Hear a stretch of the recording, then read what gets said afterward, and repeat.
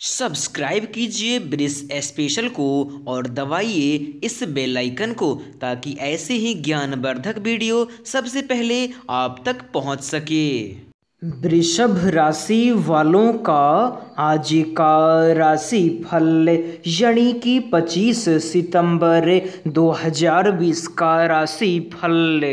लेकिन सबसे पहले मैं बात करने वाला हूँ 25 सितंबर 2020 के पंचांग के बारे में।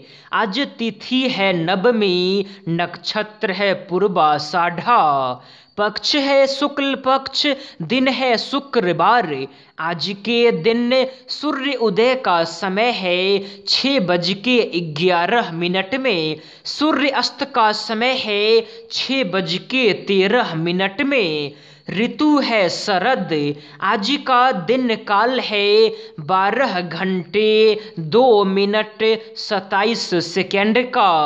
महीना है अश्विन, आज के दिन शुभ समय शुरू होता है ग्यारह बज के पचास मिनट एम से बारह बज के छत्तीस मिनट पीएम तक अशुभ काल शुरू होता है। आठ बज के पैंतीस मिनट एएम से नौ बज के तेईस मिनट एएम तक राहु काल शुरू होता है।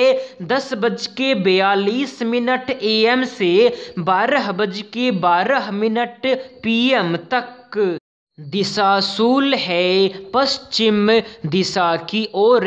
तो दोस्तों, ये था आज का पंचांग। इस वीडियो को आप लाइक कर दें, इस चैनल को आप सब्सक्राइब कर दें। इस वीडियो के नीचे जय माँ दुर्गे कमेंट कर दें। दोस्तों, इस वीडियो के अंत में आपके आज के दिन का अनोखा टोटका भाग्यशाली रंग और भाग्यशाली अंक है।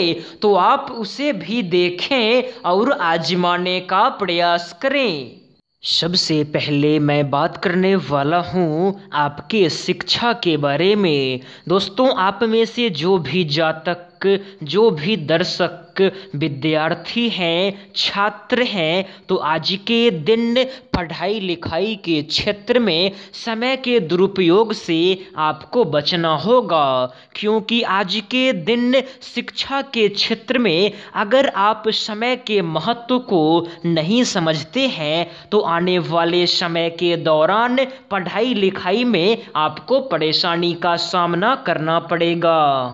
दोस्तों, आप में से जो भी जातक, जो भी दर्शक नौकरी करते हों, जॉब करते हों तो आज के दिन आपके ऑफ़िस में आपके बॉस या आपके सीनियर के द्वारा आपको जो भी काम दिया जाए, जो भी टास्क दिया जाए तो किसी भी काम को करने में आपको लापरवाही से बचना होगा।